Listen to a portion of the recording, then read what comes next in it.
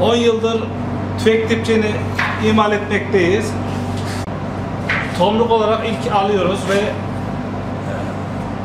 e, kesime giriyor. Kesimden sonra fırınla, fırınlamaya, taslaklamaya, çatlamaması için mumlamaya giriyor.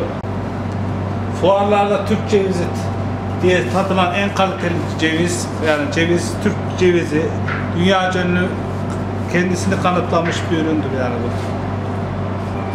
Pazarınız neresi? Mesela en fazla. Pazarımız İzmir, İstanbul, Üzümlü, Zümrü Av Sanayi.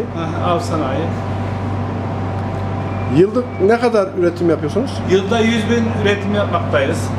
Malzememizi 5 kategoriye ayırıyoruz. 1 numaradan 5 numaraya kadar. 5 numarası en kaliteli 1000 euro ile 5 euro arasında fiyat değişiyor.